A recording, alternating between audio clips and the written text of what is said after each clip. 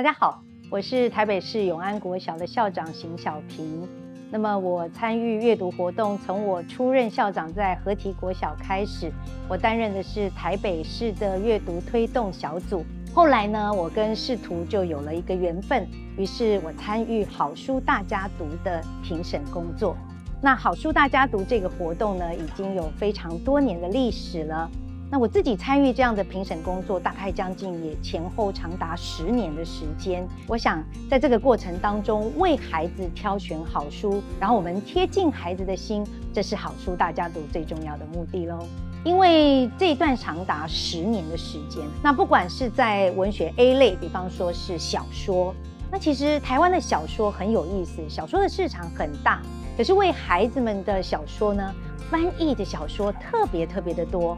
同时呢，去跟大家谈怎么样能够培养台湾本土的小说创作家，同时也能够提供给孩子一个机会，让他们能够看到台湾本土的作家他们的好的作品。那所以我们可以看到一个时代的改变。那这个时代的改变里面，也可以看到过去我们的选书有比较多会集中在，例如说欧洲、美国。但是后来这几年，我们就发现，哎，选书的类型也慢慢的扩及了其他不同文化的国家，譬如说东南亚、非洲、南美洲等等的作家，也都可以成为我们选书的对象。所以其实参与好书大家读，我好像也见证了一个台湾的书市的一个发展的历程。我们可以看到大家的胃口慢慢的开始改变，而且我们也知道，现在还要结合一零八课纲。啊，比方说跟 SDGs 有关的书籍，也是现在各家出版社在选书的时候会努力去寻找的方向。当时在创立这样子好书大家读的推荐的时候，就是因为很多家长在选书的时候，他们会有一点点惶恐，不知道到底哪些书是适合给孩子读的，又适合给什么样年龄的孩子读的。所以好书大家读在选书的时候，我们会先由出版社。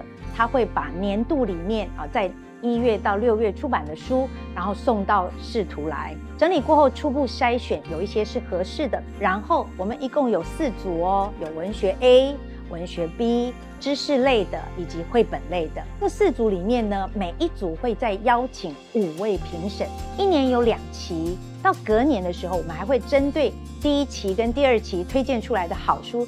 再进行一个年度的好书推荐，所以到四月二十三号的时候，就是每一年的好书大家读的颁奖典礼。同时，我们就会把这个年度好书跟两期的好书通通公告出来。这个目的当然就是针对不同的阅读的类型，让家长、老师在选书的时候可以有一个依靠，也让民众知道说，哦，我们现在。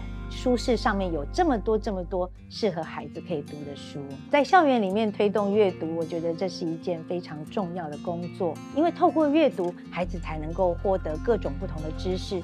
所以在校园当中，我待过的几个学校，我们大概都是不遗余力的跟家长合作，跟民间单位合作，一起来推动孩子喜欢阅读。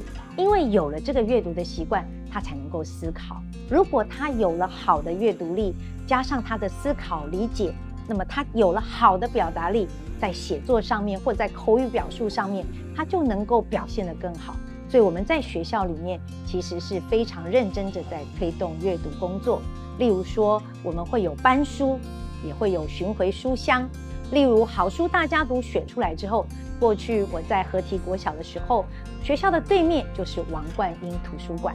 那我们就去跟王冠英图书馆讨论哦。哎，你们好书大家族选出来之后，图书馆每一本书都会买三本，那我们可不可以借一本，借到学校里面来展览？那我的学生就可以不用到图书馆，可是他就可以在校内的图书馆同时看到这两百本最新的好书。这个是我们跟图书馆的一个合作，利用图书馆的资源来帮助孩子。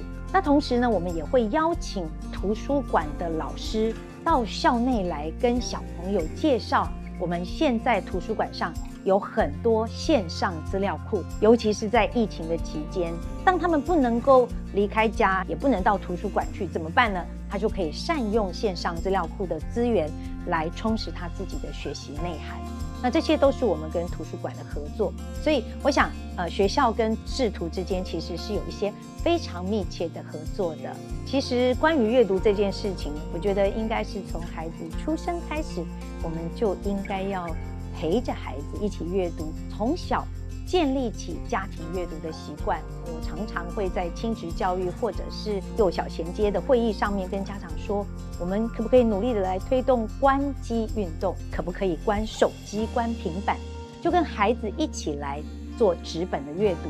但是并不是说只有纸本阅读可以。随着时代的变迁，其实我们是要跟着孩子年龄的增长来调整我们陪伴孩子阅读的素材、阅读的内容。然后是要跟孩子多聊一聊，不是只是逼着他去写阅读心得，或者是一定要他说出一个什么道理。然后我们可以从里面看到，有些东西孩子有发现了，可是家长竟然没有发现。然后从这里面去找到一些阅读时光的乐趣跟美好的氛围。我觉得这个是我们从孩子出生以后可以做的事。其实呢。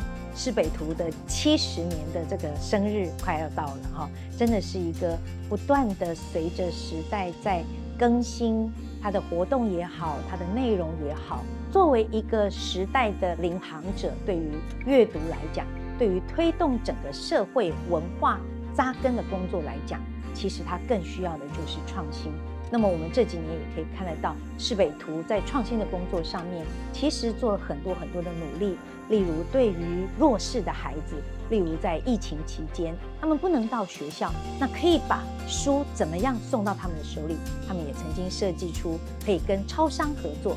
所以我想，只要有心就有力。那么市北图迈向另外一个高峰的时候，它不是步履蹒跚，也不是老态龙钟。